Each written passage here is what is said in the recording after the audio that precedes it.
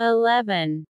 Hold on please, I'll just connect you with Mrs. Parsa. 12. I'm afraid the manager's line is busy. Can you call back later?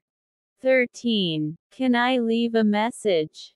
14. We're talking when suddenly we were cut off. 15. Mr. Saremi, you are wanted on the phone. 16. Excuse me, who is calling? This is Sarah. 17. I'll get telephone. 18. I think you have the wrong number. I don't recognize your voice.